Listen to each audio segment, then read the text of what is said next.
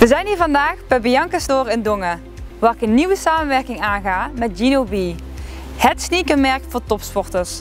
Zij gaan me helpen bij de volgende stap. En waar kan ik die stap nou beter beginnen dan hier bij Bianca Store, waar het allergrootste assortiment van heel de wereld is.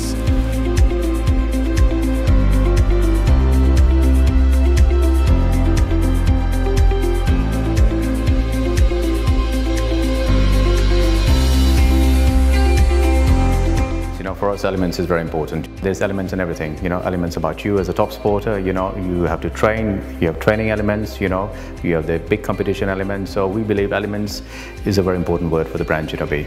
The most important element of Gino B is our footbed. We have this special cork footbed.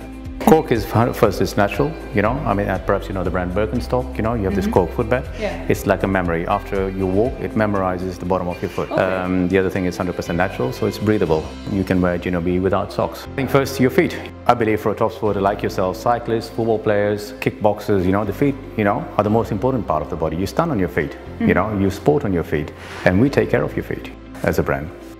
Once the elements are correct, once our foundation is good, we can play with all kinds of materials. That's when the fashion comes in, you know. There's two things about fashion. You have style, this is the style, and then you put fashion on it. You know, that's the fashion element. Yeah.